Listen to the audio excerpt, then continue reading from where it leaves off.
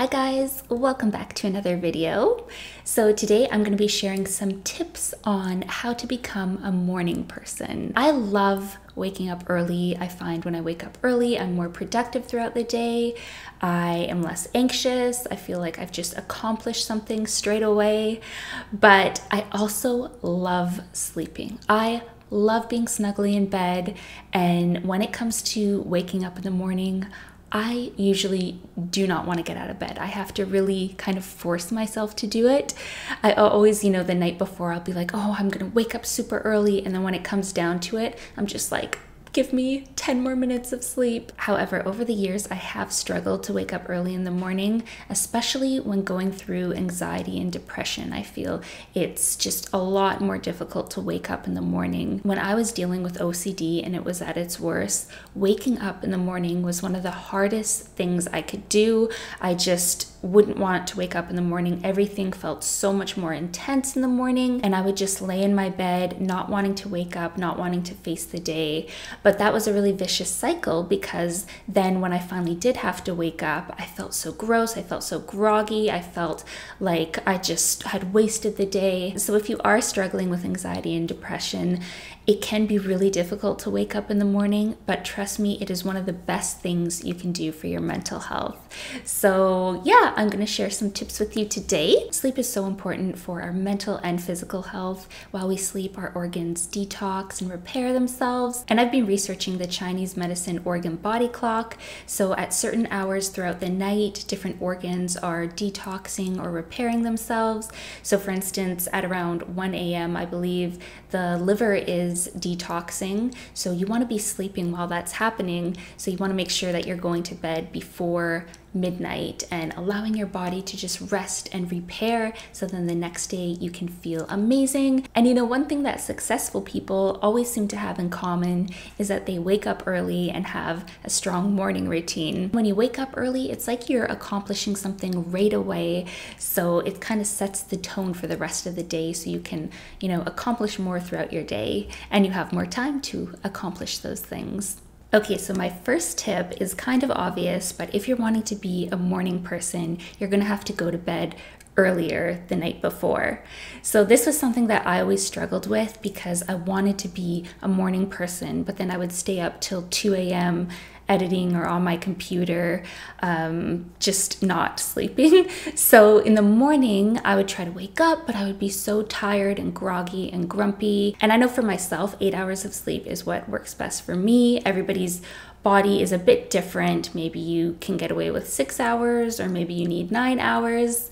But yeah, you have to go to bed earlier in order to wake up earlier so you get your full good night sleep. And you also want to try to go to bed and wake up at the same time every day so your body gets into a routine and your body gets used to it. And my next tip is getting a good night's sleep because if you have a good night's sleep, it's going to be so much easier to wake up in the morning. So I have a video on tips to help you get to sleep. I will link that below in the description. But some of the tips that I would suggest everybody incorporates is trying to stay off your electronics at least an hour before bed because if you're looking at your electronics, you're getting that blue light in your eyes and that's signaling your brain that it's still daylight out and that's going to suppress your melatonin production. So yeah just try to stay away from the blue light right before bed. And of course one of the things that's going to help you stay asleep throughout the night is sleeping in a comfy bed. So i wanted to thank birch for sponsoring today's video. Birch makes organic non-toxic mattresses and they're made in the usa they are just made from four sustainable materials. They are made with organic latex New Zealand wool, American steel springs, and organic cotton. They have many third party certifications to ensure that their mattresses and products are totally free from a long list of harmful chemicals. Their products have been tested for volatile organic compounds, chemical exposure, pollutants, phthalates, and formaldehyde. And your typical foam based mattresses can actually off gas chemicals. So with Birch, you don't have to worry about that. So that's really great, especially because we're just bombarded every day with so many toxins and chemicals. And we spend so much of our time sleeping in our bed. So we might as well make it as healthy as it can be. And buying a mattress online is actually incredibly easy. You just place your order, it ships to you for free, and then it shows up in this box, and you just unroll the mattress and it just fluffs up and it's ready to use. It's pretty shocking that the mattress can actually fit in that little box. I am so happy with my Birch mattress. I've had it for almost a year now, and it is the comfiest mattress I've ever tried. I highly, highly, highly recommend it. And Birch mattresses come with a 25 year warranty and they also have a 100 night sleep trial so you can test the bed, make sure that it really works for you, and if not, you can get a full refund. So if you are in the market for an organic mattress, definitely check Birch out. I am so, so, so, so in love with my mattress. I've told you guys that many times, but you can go to birchliving.com slash holistic habits to get $200 off your order, and I will link that down below in the description box. And if you're really having trouble sleeping, there's different herbs and supplements that can help you sleep, like um, magnesium is really good for relaxing the body, tart cherry juice. Lately, I've been using the Laird Renew, Rest, and Recover because that has so many different sleep promoting ingredients in it.